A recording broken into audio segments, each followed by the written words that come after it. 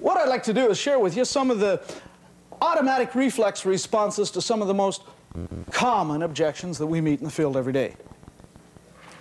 Invariably, as you're out doing your thing, you'll have somebody stop and look at you and say things like, uh, hey, well, I'm not interested. Did you ever hear that? I'd like to share with you two or three rapid word tracks that have really been instrumental in helping people overcome that. I got two of them from a friend of mine, Tom Norman, who's got more nerve than an abscessed tooth. He got a hold of one couple selling life insurance, as I recall, an appointment for life insurance in Cincinnati, and he gleaned off two responses. He, these people were the ones who said, we're not interested, we're not interested. They're almost like a broken record. That's all they responded with.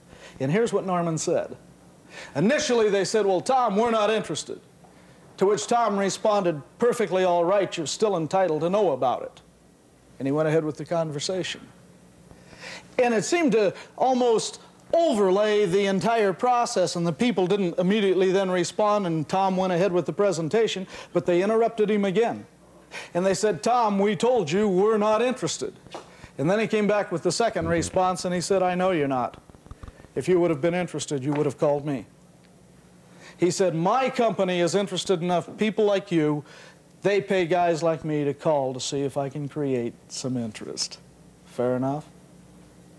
An open disclosure about where he is. You see, basically, I guess what I'm hinting and intimating at at this point is the fact that in selling, if you can have the courage to tell the truth, you'll win more than you'll lose.